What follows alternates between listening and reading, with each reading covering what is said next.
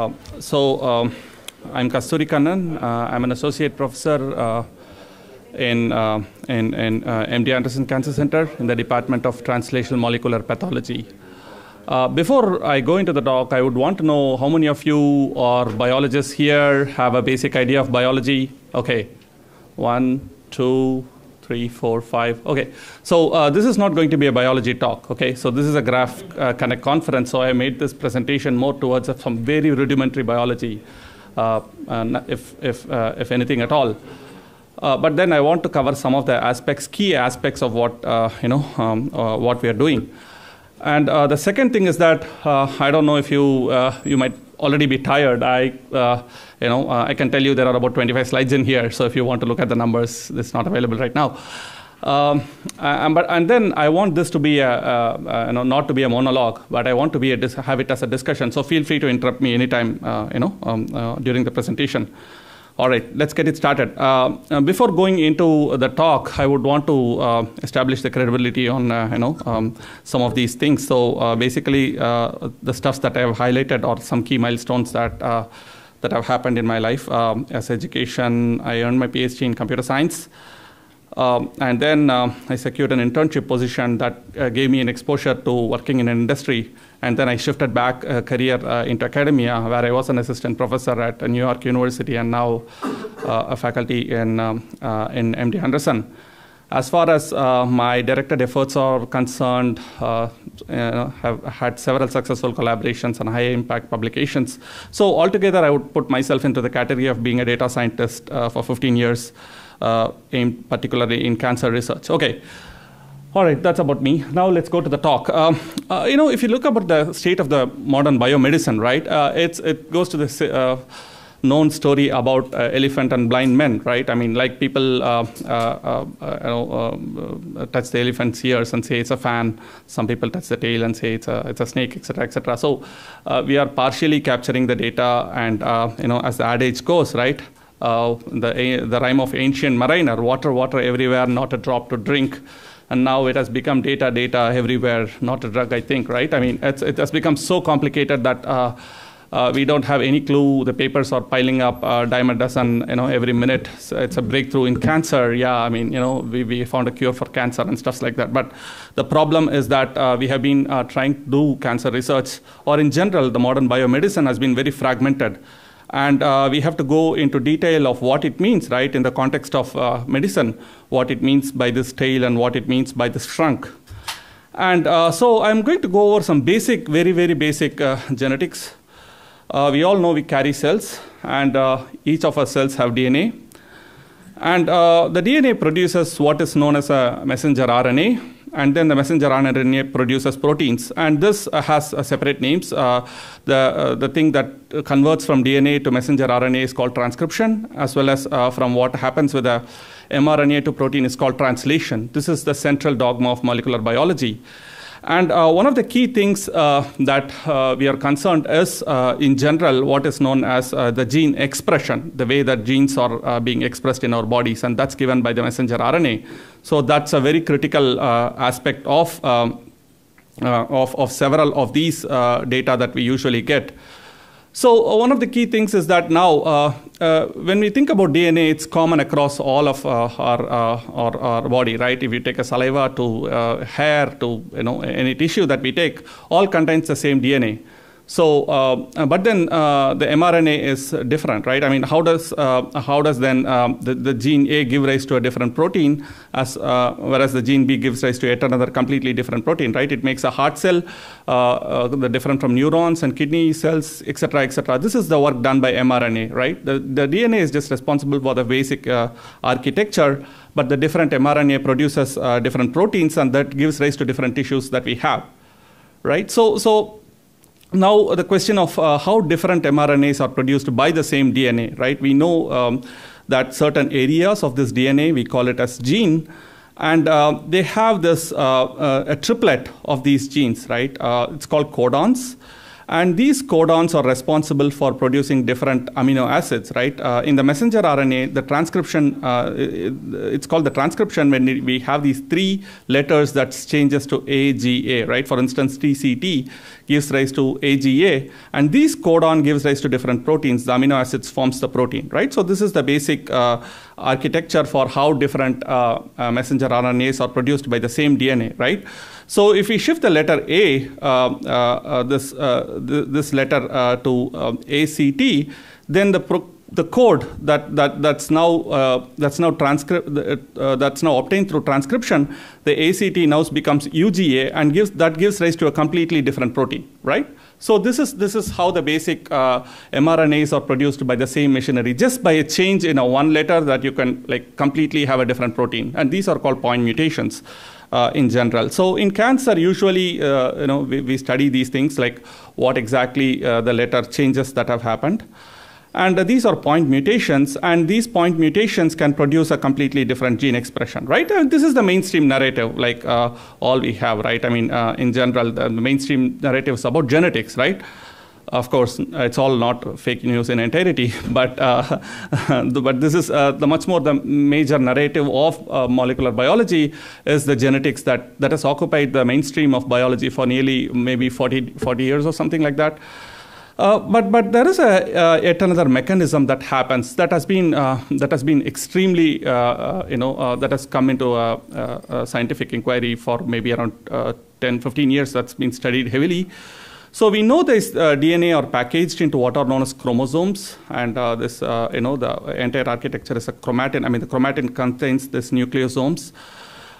Now uh, we have this strand genes, right? Um, and uh, there are some uh, phenomenon that can happen to certain positions of the gene, like promoter regions of the gene. Uh, that is, uh, there could be several things like histone modifications and methylation. Methylation is one of the uh, uh, key mechanisms. Like for instance, a methyl group can get tagged near the genes, and so the genes will not be expressed at all. So uh, this is a classic mechanism that is that is comparable uh, to uh, what happens on the genetics level, and this is uh, termed epigenetics. And you may have heard this word often thrown, thrown around everywhere, right? Uh, epigenetics is now uh, uh, almost everywhere when you think about how the cancer cells are behaving and things like that. So, like you can think of DNA methylation as an on-off switch, right? I mean, so you know the the, uh, the, the you know uh, if, if if if this promoter region, this particular base is not methylated, then the genes are expressed, and if there is a group methylation group, the genes uh, will not be expressed, and so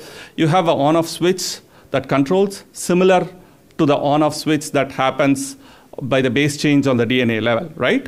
So uh, we have these, right? Uh, let's say, for instance, the, C, the base C is turned into A, and we have these genetics that can change, uh, the, uh, produce a different expression. On the other hand, there could be a methyl group that can uh, give rise to a completely uh, different gene expression as well, right? So when we are born, there is an epigenetic reprogramming that happens that wipes out all the uh, slate, uh, you know, uh, and then creates a new. That's why like a son of a smoker is not a smoker, or you know, um, a daughter of a Neo4j expert need not be a Neo4j expert, right? So, so uh, the, the, the, nature has made sure that you know when we are born, we are born with a clean slate, and that that largely happens to epigenetics. Uh, whereas the genetics, uh, it's there, it's given by our parents, and so you know there's no way to change the structure of the the genes in general. I mean, right? So uh, the question now is uh, what what rules the underlying uh, you know gene expression change? Uh, who claims that it is going to be genetics? Who thinks it's genetics that's ruling? now How about epigenetics? Who thinks it's epigenetics? At the end of the day, both control the gene expression. Who thinks it's it's, it's purely driven by epigenetics? Okay, uh, well, uh, I'll come to that. Uh, who says neither, right? Or combination? Who says it's combination? Okay, uh, why?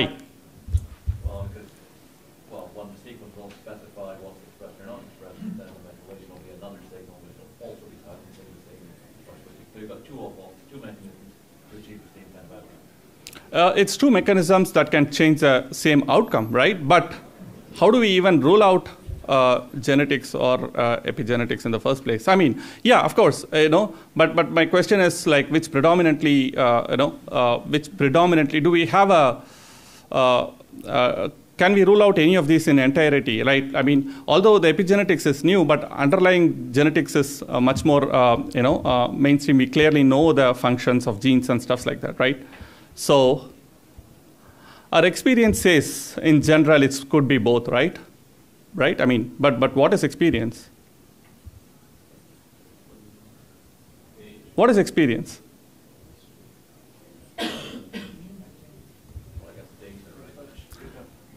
Experience is some information that either strengthens our belief or weakens our belief, right? And information is data, right? I mean, at the end of the day, it is the data. So, I mean, the thing is that, right? I mean, when, when we want to rule out something, if we want to say both, it's both genetics and epigenetics, we may have to rule out some of them, right? So, I mean, at the end of the day, it is, it is the data, right? In all God we trust, all of others must bring data, as uh, known adage source, right? So, it's, it's the absence of consensus. The key thing is that we need to have, uh, to rule out whether it is genetics or epigenetics, and there is an algorithm to do it, right? So, we have the sequence, the uh, 3.2 billion letters of our DNA. So the key, al- the algorithm to go about in ruling whether it's genetics or epigenetics is find all the 3.2 billion letters as a sequence, right?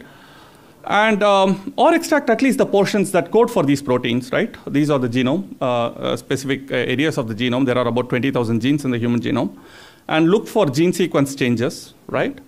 And then you have to look for methylated regions, the promoters, and then correlate with the expression to say that which rules it, right? So if we have, we don't know what it is, right? At the end of the day, it could be genetics that could be ruling, but we have to find out the truth, and data is the only source that we could we could identify how uh, genetics or epigenetics uh, rules in there, and there is a clear algorithm to do it. And fortunately, uh, uh, you know, the, comes to the question of next generation sequencing. Fortunately, we can do that in this uh, technology era right?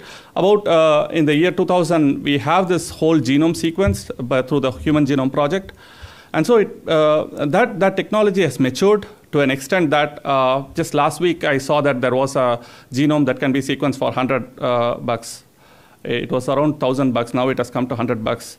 So, so uh, initially it's about uh, when the uh, Human Genome Project was there in 2000, it was three million dollars to sequence a human genome, and now it's 100 bucks. I mean, so so it made the identifying of these sequences of the nucleotides possible, right? So we have the genomic DNA. The technology is that it can break the DNA and you can uh, put it in a flow cell. The flow cell forms clusters, and then you can identify the sequence in there, right? It can we can do identify both DNA, RNA, as well as the methylated sequences and it's very affordable nowadays. You can uh, you can sequence the entire uh, genome uh, in about eight to eleven days, uh, and with like less than thousand dollars. And uh, like I said, it's it's becoming hundred dollars now. And there is a reference genome is available. So all of the stuffs are available to make sure that whether we can rule out genetics or epigenetics or it's a combination of both. I mean, the, or it could be neither. There could be new mechanisms, right? We don't know. But but the key thing is that we now have the technology to test, and uh, and that has. Um, become a data deluge in biology. I mean, it's an explosion of data sets. I mean, once we have figured out uh, how exactly the sequences are, right? I mean, it's not just like some portions of it. Now we can exactly uh, uh, uh figure out the sequence. And through that, we can like identify mutations. It's just a machine. You just put in a DNA. Of course, all the preliminary, uh, you know, uh, lab work. If it's once it's done, you can extract the DNA or RNA. You can put it in there and are, it's going to spit out all the uh, mutations in there, and then it's going to spit out the copy numbers. Copy numbers is the number of copies of these genes. Usually in cancer, there are multiple copies of these genes.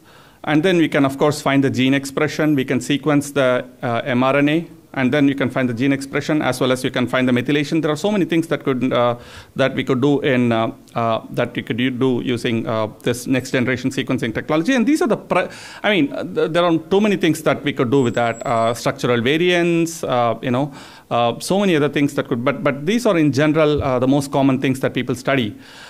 yet now we can like we have an option to choose, uh, you know, we have an option to figure out whether it is genetics or epigenetics. And uh, this was the main uh, function of uh, the, the, the Cancer Genome Atlas project. They had sequenced a lot to figure out whether it's genetics or epigenetics. Lots of studies have come out of this, and yet there was no consensus because I mean, at the end of the day, right? If you want to, let's say, uh, uh, you know, study aerodynamics, we can't be studying the wings separately and uh, the engine separately, right? Aer- aerodynamics is a function of uh, of all of the components working together harmoniously, right? I mean, that's so. Again, it comes. We know that uh, our experience have told that it's both. But now we have the power of uh, uh, te- uh, technology and data to rule out that it's neither genetics or epigenetics. Now we can study both, but how do we study both without ripping the plane apart, right? I mean, if you want to study the aerodynamics or if you want to study the human genome functions, we have to put together all of these data sets. I mean, uh, you know, the, the, the, that's the problem with the current uh, biology. Like I started with uh, the, the elephant and blind man, right? I mean, modern biology is more or less reductionistic. We are like trying to think, okay, dividing each of these and trying to understand a gene or a you know, group of genes, and we can try to put together. That's not going to work because once you break the system, you're it's going to. I mean, we can try to understand it, but once you're breaking the system, putting it together to have a holistic understanding, it's almost impossible.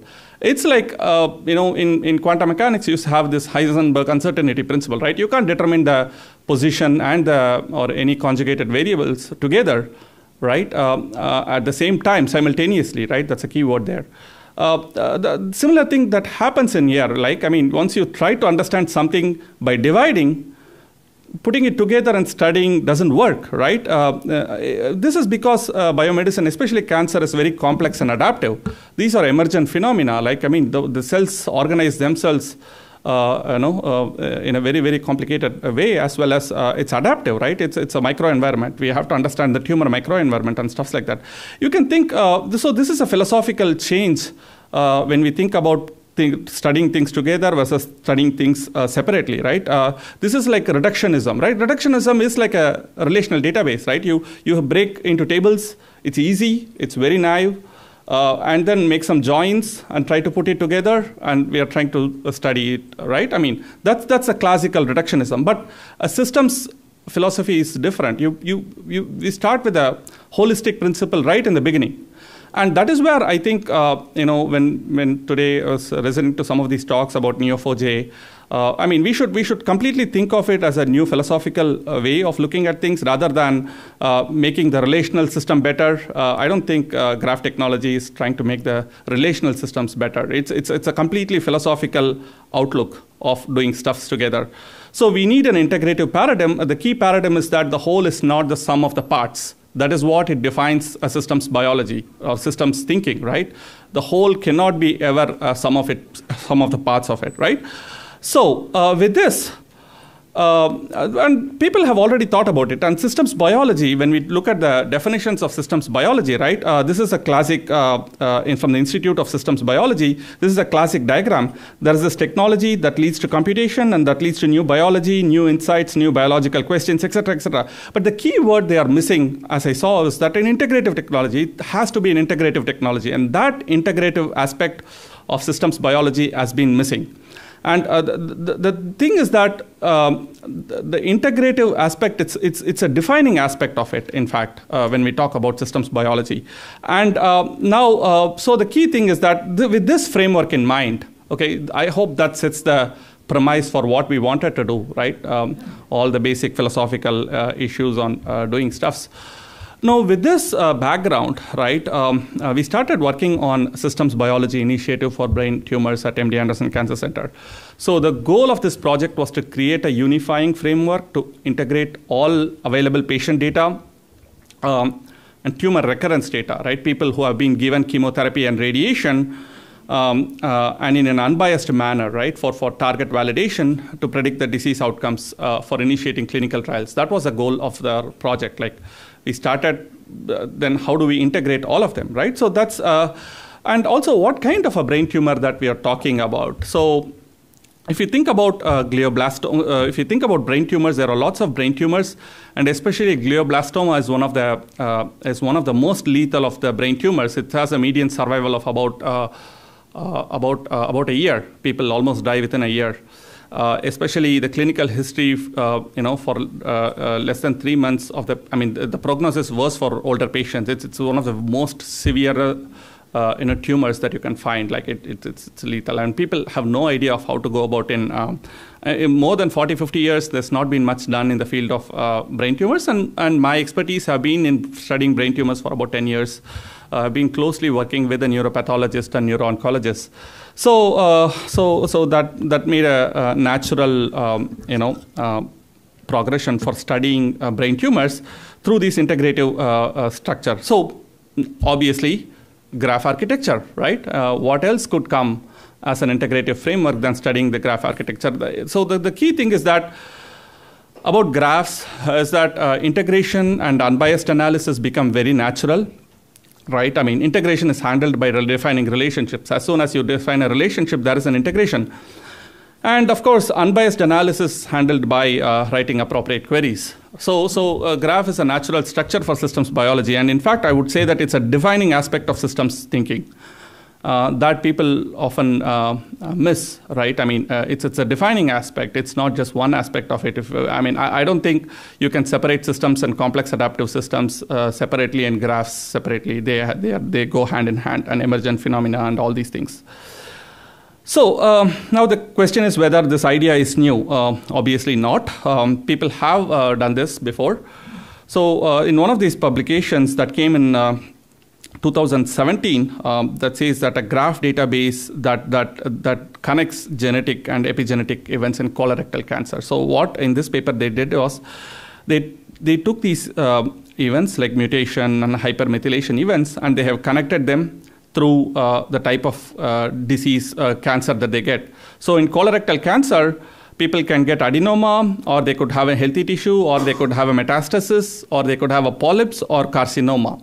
Okay, so they are connecting uh, different types of uh, these um, data, uh, patient data, saying that you know, like patients who have hypermethylated in a particular gene uh, or, or connected to mutations if they have uh, if they have carcinoma, right, or polyps, or um, or uh, or any of these categories, right. So uh, this is this is problematic. I found that this this is a problematic thing once I uh, read this paper. The problem is that this this is restricted to property of patients, right? So it is it is a property of patients. So let's say that a new patient comes in and they don't have any of these five categories right? They have a colorectal cancer. Let's say that they are di- diagnosing a new category in there. Where will you put this patient in here? Is there a framework for putting this patient in here? So, so the, the, the problem with such a framework is that there is a necessity to create additional relationship types in such a framework, right? So, I mean, so this also results in restricted survival analysis. I will go over that later. But, but, uh, but the thing is that when we are uh, dealing with constructing graphs, we have to make sure the relationships that we define is uh, comprehensive. It can include additional data that we could uh, uh, ingest in the data uh, in the database, and so many other things that goes in there, right? So, so what is so, so there are three things that our our database should contain. One is that they have to be integrative, right? And the second is that um, the relationship that you define should not be subjective. Like for instance, here uh, it is subjective because a pathologist would define something as polyps and pathologists are subjective. They don't have uh, the, digital pathology has not come yet. And people you know when they classify patients in one of these groups it's very subjective right? So this is a subjective data set right? So we should move from subjectivity to objectivity for having an unbiased system. And the third is time dependence right? So um, i'll tell you this. Let's say that we are constructing a graph and uh, a simple graph, say Anne is married to Ryan, right? Now, uh, in this uh, in this relationship model, right? Let's say that tomorrow they are they are getting a divorce, right? What happens to this system? It's no longer valid. It's no longer true, right? So instead, we say Anne knows Ryan, and special type of property is is married to some type of property. Then it's eternal they are going to know each other even they get a divorce, right? So, so the system should have these th- key critical things. One, it has to be integrative. The second is that uh, it should not be subjective; it should be objective. And the third is that it should not be time dependent. It should not be based on, uh, you know, um, uh, uh it should be universal across time, right? So, what kind of a relationship we could come uh, think of satisfying these three properties? Anybody?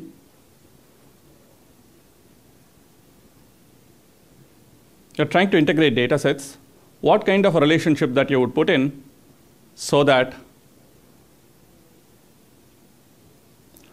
so that it is not time dependent, so it stands eternal.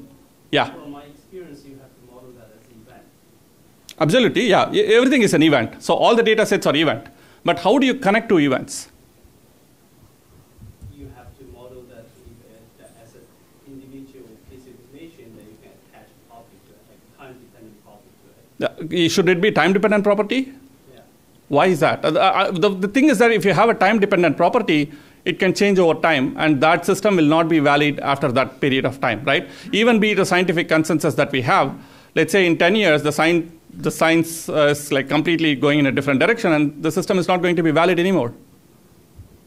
I, I just don't want to distract the talk, but uh, Sure. I, I, that's a question I've been thinking a lot. Right, That okay. You have a, you have a, you have a problem. You have you need to figure out how do you capture the data, Right. information, and how do you process the information, Right. analyze the information. And Right.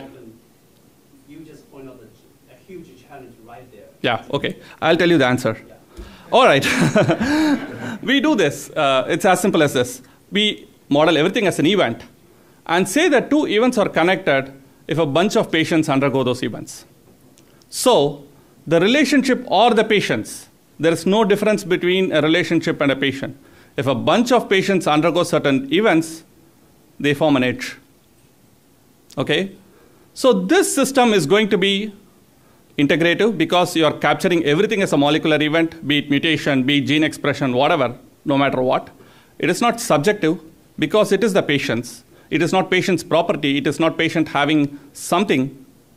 And it is eternal. As long as there are patients, the system is going to be true because your connection is patients. So there is no difference between an age and a patient. Okay, so that's, that's the framework we are putting together here. And um, uh, uh, we call it as genome for graph engine for systems medicine. And uh, this is an example uh, graph database uh, that we have developed here. We have methylation events, we have mutation events, we have expression events, copy number events, and two events are connected if they are shared by more than one patient. Uh, it could be one patient too, but the more patients you add, yeah, go ahead. I want to turn that on the head and say, Mhm. the patients are individual nodes, and the similarity between them forms an edge. The similarity could be calculated by cosine similarity on the node, right?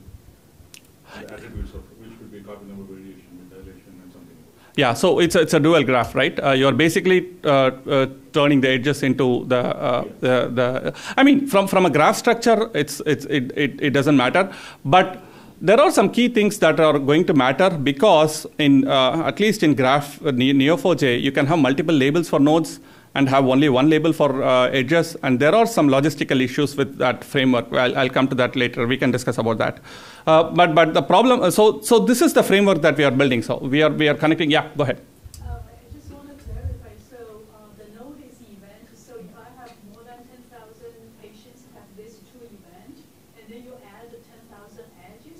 Uh, I just want to clarify, so the node is event, so if I have more than 10,000 patients have this two event, and then you add the 10,000 edges? Well, we could theoretically do that. It doesn't matter, but we can also put it as a property in one edge. It, uh, you, you can actually create multiple edges. That's fine. I mean, uh, from from a from a, uh, a perspective of the graph, it doesn't really matter. Uh, you know, you can create 10,000 patients who undergo those events.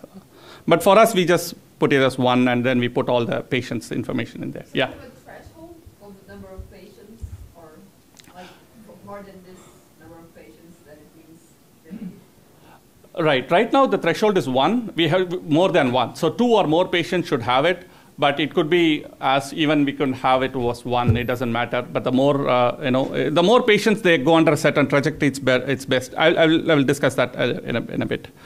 So right now, uh, our, our database contains about 370 patients, uh, which has about uh, 11,000 nodes and 16 million relationships. And this is the Venn diagram of mutation, copy number, gene expression, and methylation uh, events in there. Uh, there is about 58% of them, uh, 50, uh, 58 patients, or 13% of them have, have all the data. But uh, the good thing about is that it, you, know, you can integrate any data that is available, and it's not necessary that all of them should have all the data in here, right? All right, so the key thing is that garbage in, garbage out. How do you select? I mean, if you look at the number of events that we have, we have only about 11,000 nodes and 16 million relationships. So the thing is that the, the, you know the number of nodes are very less compared uh, to relationships. The key thing is that we cannot be putting in whatever data that we get. Like a single human genome is about 200 GB data just for one patient, right? Uh, think about 370 patients. I mean, you know, it's it's all uh, you know searching for needle in a haystack. The more uh, data that you put, uh, the more crazier it's going to be. So the curation of the data and what you ingest into it, uh, it's it's very very important. So, for instance, one of the uh, identifying uh, mutations, the key mutations that give rise to functional uh, phenotypes, right? So the, we are we are um, we are having those mutations in there. Those are called driver mutations. There is a there is a reasoning behind it. It's an evolutionary construct. Those mutations that give fitness advantage uh, to the propagation of cells. Those are uh, take those, those take priority than those mutations that just sit without doing anything. Right? When the cells duplicate, all those that really con- don't contribute to the fitness of the cell are going to just be propagated. Right? The cell is dividing. It's not just that a mutation alone. Right? So uh, there are some analysis that could be done to identify the key mutations. This is just for mutations, but the same done, is done for copy numbers. The the same kind of an, uh, thing is done for gene expression and methylation. So when we curate the data, we made sure that all of them are functional, which are like you know, correlation is not causation. So ultimately, this has to be tested in mouse. This has to be tested in um, you know uh, uh, wet lab experiments, cell lines, and stuff like that. So. Um, and then uh, obviously patients greater than one, right? Uh, that's a threshold. The more number of patients you have for the system, it's going to be better. And we have a robust statistics, Fisher's exact test, and connected events.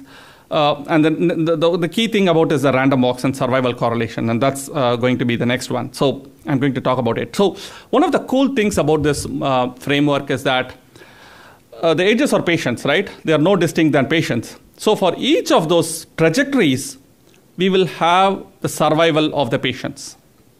Okay, so here A is a trajectory a patient takes, B is another trajectory a bunch of patient takes, and C is another bunch of trajectory. So these patients are going to have survival difference in survivals, right? And uh, so you can have a Kaplan-Meier uh, to identify if how the survival, how, what are the key things nodes in here that contribute to a difference in survival. Well, we can enumerate all of them, right? That's an easy thing to do. But if you're enumerating all of them, it's an NP complete problem. It's never going to end, right? So, so basically, what we do is a random walk. Fortunately, uh, in Neo4j, there is a random walk that's implemented. So at every node, we toss a coin um, or you know roll a die to say which path it takes, right? So that's a random walk, uh, basic algorithm. And uh, even with four uh, and four nodes, you have about 13 possibilities. So uh, that's why we do the random walk, like I said. And um, we had done lots of simulations, and this is one of the simulations we have um, in random walk. So it consisted of about 156 walks for these patients, and we look at path number 51 compared to patients who don't take that path, and you see that there are some patients who have these survival differences, and these are the key genes that are uh, that are uh, that are involved in this uh, survival differences, and it's not just mutation alone. Um, it's also copy number variation like 14 to 32q and etc. Since it's an integrative database, you can you will be able to correlate survival, putting it everything together. So current uh, paradigm in biology is like just looking at mutations, just looking at gene expression. But here we get all the biomarkers in one go by doing this uh, survival analysis. So these are the key genes that we have identified for path 51, and similarly the path 54 that also turned out to be very significant. Like patients who have these things, they survive lesser. Since it's a recurrence data, the red is the patients who are surviving lesser than ones that are in blue. And uh, similarly, this is another random walk simulation. Um, we have these, uh, uh, you know, these two paths. So these are the the black is copy number, uh, the the yellow is a mutation. So we, we see that there is there is a survival difference between these uh, two different paths that patients take, right? So we now have a framework where we not only can say with DNA, but on the RNA level, on the protein level, and you can even throw in images in here. I mean, right? I mean. Uh, to identify. So it's, it's a very inclusive and integrative database.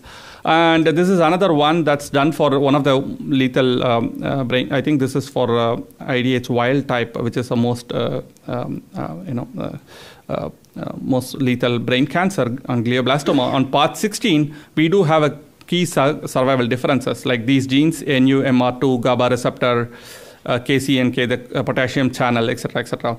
And uh, and we cor- and we saw that there are lots of literature pointing out to these things, and there is a bunch of things that uh, that we have identified that the glutamatic uh, you know synaptic input uh, and so many things that are coming out now, like because people have been looking at an isolation, we now are synthesizing it. We are seeing like literature everywhere uh, for the for the biomarkers that we find. So these are some of the uh, key publications that has been published on um, on on um, on the on the targets biomarkers that we have identified, right? Uh, and uh, and uh, and of course the novelty of this approach, right? I mean, it provides a strong framework for systems biology paradigm in medicine. It's patient driven than patient properties driven, right? It's, it's a, you know the properties. Uh, it's not based on patient properties, but rather on patients themselves. It's truly unbiased and integrative. It's not time dependent.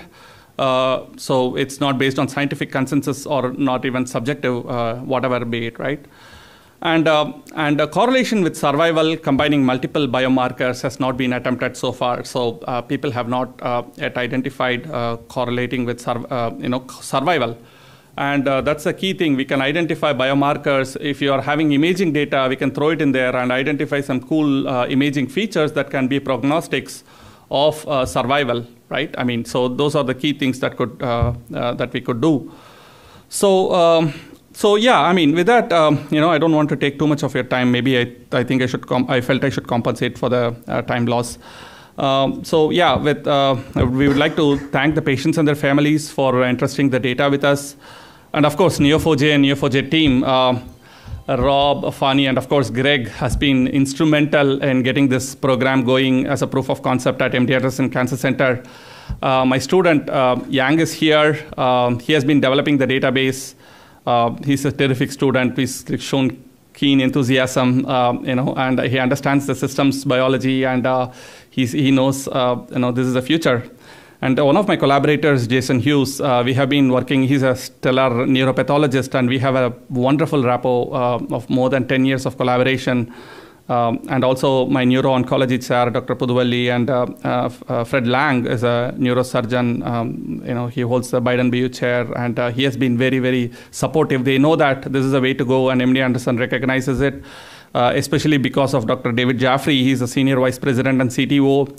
Uh, we have had lots of discussions, uh, and also he has provided the database availability in the institution. And he's a huge systems thinker. He's a physicist, radiation uh, physicist, and he strongly subscribes, uh, knows that this is the way to go. But then we are trying to build a huge consensus on the entire medical field, I mean, or biomedical field, which has been a very challenging task for us because uh, you know, biologists has not been trained to think on a systems level. They have been trained to think only on a reductionist level, trying to understand genes and biochemistry behind it, and not synthesizing the data and trying to put it together to understand the whole picture. So we have not yet there. Uh, that's been one of our biggest challenges. Um, and of course, the Moonshot program at MD Anderson, there are huge coordinators and administrative support and obviously made this funding and logistics to make this project possible. Um, and Brain Tumor Center, I'm part of Brain Tumor Center, and the entire data is from the GLASS consortium. It's a glioma longitudinal analysis GLASS consorti- uh, uh, consortium that has profiled this data. We have a unique data of patients uh, pre-tumor, uh, pre-surgery and post-surgery uh, data, which is not available anywhere. Uh, this is uh, one of the key data that would help us understanding the chemo, the effects of chemotherapy and radiation on patients you know, all the previous efforts on the cancer space has been done only on the primary tumor and not on the recurrent tumor. And we are all this is data is about recurrent tumors, so several of them are unpublished data. Uh, and I would like to th- uh, thank our um, uh, support database support, uh, and Suran, who did uh, lots of uh, database support work, working with Rob, uh, IT support and staff, And finally, uh, my wife Lavanya, she's a, she's a graph theorist, and she evangelized me completely. You know, getting into graphs. Um, yeah, she uh, you know she has been like uh, uh, telling, yeah, this is you know she gets so excited about graphs, and all the time, you know, uh, I used to joke, you know, we, we talk about Neo4j more than we call our kids' names in our home, and the kids are like, who's this Neo4j? I mean, like you know, the, you you should yeah, and he says, uh, mom is very crazy about Neo4j, and she complains to me anyway. Um, so yeah yeah, with this, uh, I would like to conclude my talk, and um, I'll be happy to answer any questions. I think we have ample time, or at least uh, my time, we have some more time for uh, answers, question and answers. Yeah, thanks.